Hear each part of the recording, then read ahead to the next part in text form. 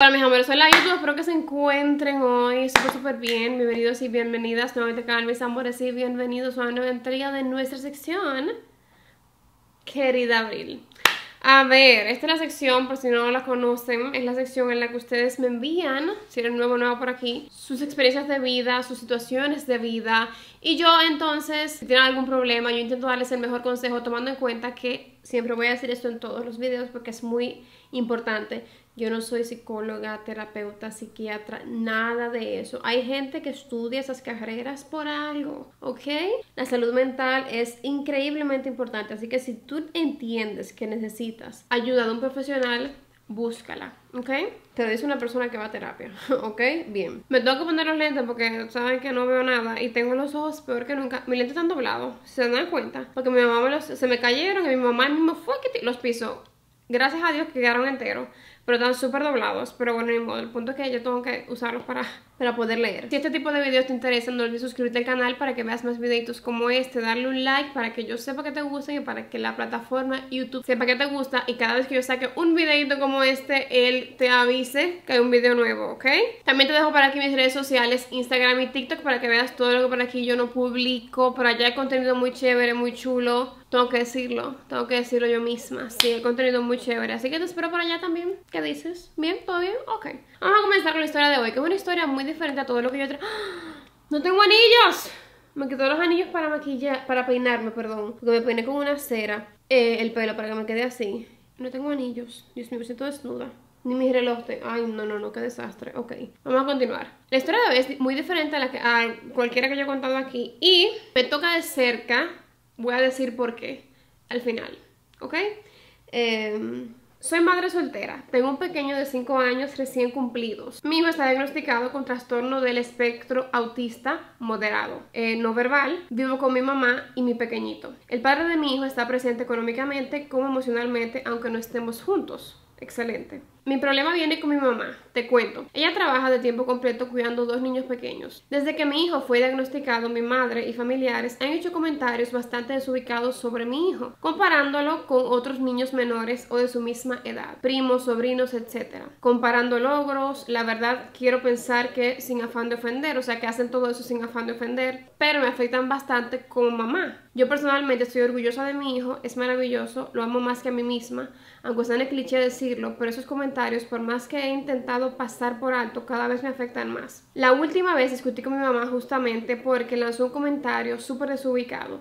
Dijo textualmente, ay, sabes, mi jefe me comentó que su compañera de trabajo tiene una hija que es autista igual que David y de la misma edad, pero ya habla, que, como ya hablamos, eh, su hijo es no verbal. Ella sigue contándome, me hizo sentir tan mal, Abril, me dio tanta impotencia y se lo dije en el, en el mismo momento como me molestan y estresan esos comentarios, comparando a mi hijo con otros niños, ya sean neurotípicos o neurodiversos. Como no va a entender que cada niño es distinto, es, de verdad se me engranoja la piel leyendo esto. Como no va a entender que cada niño es distinto, especial, cada niño tiene sus tiempos, sus etapas, no sé si sea por la edad, ella tiene 57 años, vivió otro tiempo donde los niños tenían que hablar, leer, escribir a tal edad y si no cumplían esos estándares no eran normales. No es primera vez que compara a mi hijo con otros niños. Siempre comenta que la niña que cuida es menor que mi hijo y según ella es súper despierta, inteligente y que hace tal y tal cosa y que tiene tan buena memoria, es tan talala, talala, talala, y ya está matriculada en el colegio más exigente de la ciudad. No dudo que la niña sea todo eso y más, pero ¿por qué lanzar esos comentarios siempre intentando comparar? ¿Qué fin tiene? Si sabe que esos comentarios me hacen sentir mal y me afectan. Por otro lado, yo cuido mucho la alimentación de mi hijo, intento que sea balanceada, pero mi mamá a diario trae chucherías, o sea, dulces, se los muestra sabiendo que obviamente no puede comer cosas así a diario. Y claro que yo quedo como la mala al decir que no se los puede comer y poner el límite a mi hijo. Me gustaría que tú o las personas en los comentarios me aconsejaran. ¿Soy yo la que está equivocada? Esos comentarios me los estaré tomando muy a pecho. No dudo que mi madre adore a su nieto, pero ¿por qué siempre compara a mi hijo con otros? Como mamá de un niño con una condición, condición porque no es una enfermedad, Exactamente. También me gustaría comentarle a otras madres. Yo sé que estamos orgullosísimas de nuestros hijos, sus logros y queremos gritarlos al mundo, pero hay que tener tacto para comentarlo. Ningún niño es mejor o peor que otro. Todos son maravillosos. Bueno, en realidad esto me sirvió un poco para desahogarme. Ok, a ver, señores. Yo creo que en el mundo de, manera general hay una falta enorme de educación y de conciencia con relación a las distintas condiciones que puede tener un ser humano. ¿Ok? Hay condiciones que no se ven. Hay condiciones que tú no te das cuenta hasta que la persona te lo diga. Hay condiciones que son muy visibles, que tú ves a la persona y sabes que tiene una condición. ¿Ok?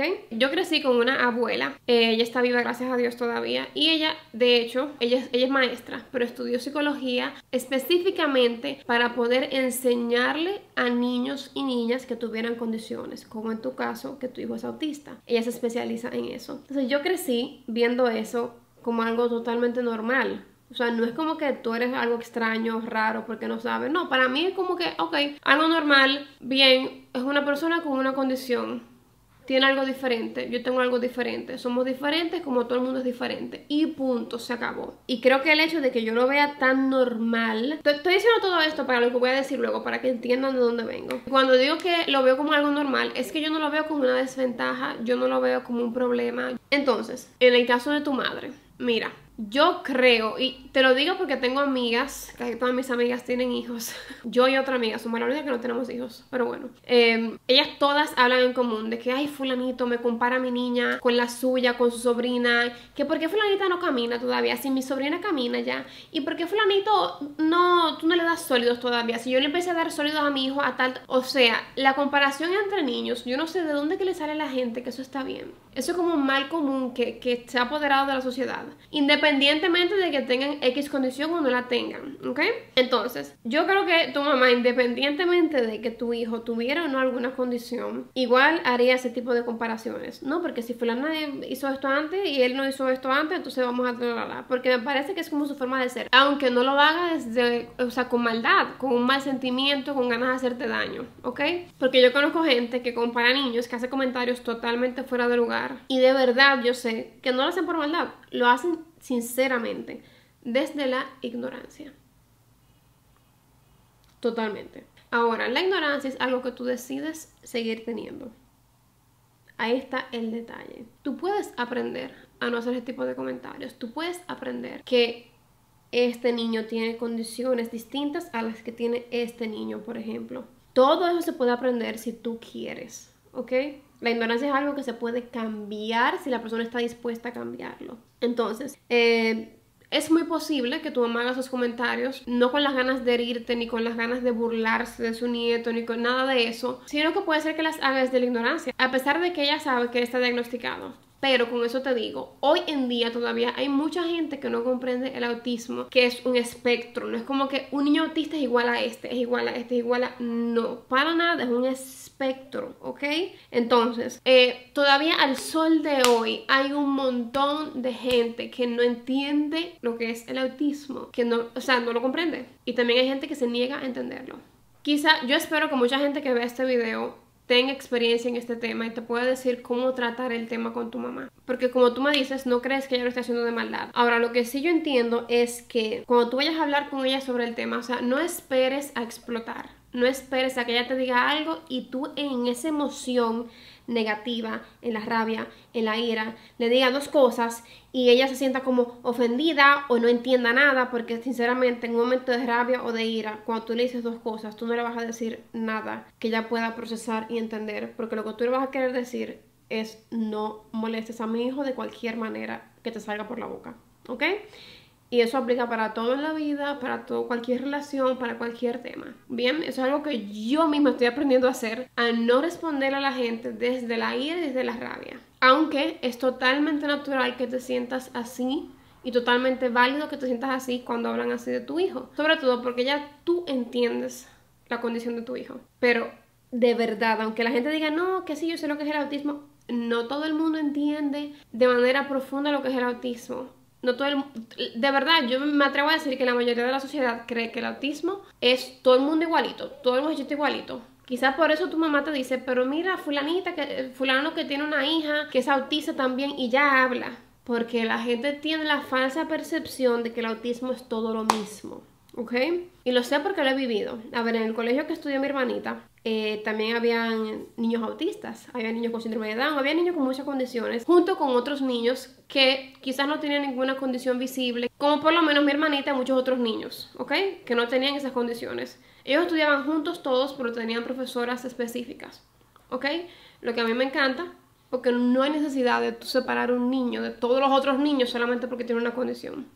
Eso es una cosa. Pero bueno, en el colegio de mi hermanita yo veía niños con síndrome de Down, con autismo, todos diferentes, todos con distinto nivel de aprendizaje, pero no todo el mundo tiene la experiencia de presenciar todo eso y de entender que eso es algo normal, que forma parte de la sociedad, de la humanidad y que cada niño es diferente, tenga o no tenga cierta condición. Y aunque tengan condiciones, todos son diferentes. Bien, entonces yo siento que quizás ella entiende que la condición que tiene su nieto es autismo, que es una sola cosa, por ejemplo, y que ya esta otra niña que es autista habla, ella entiende que su nieto debe hablar, porque también me imagino que así como para ti, me imagino que fue un choque enterarte de que, oye, mi hijo es autista, para ella también fue un choque, por supuesto. Entonces yo te diría, no esperes a explotar para hablar con ella. Haz algún momento en que las dos estén bien, en que las dos estén en, un buen momento, como que los ánimos estén calmados. Y ahí tú le hablas y le dices, oye, mami, de verdad yo no me siento cómoda con los comentarios que tú haces sobre mi hijo. El autismo, tú se lo explicas de la manera más desmenuzadita posible, aunque me imagino que tú se lo has explicado ya.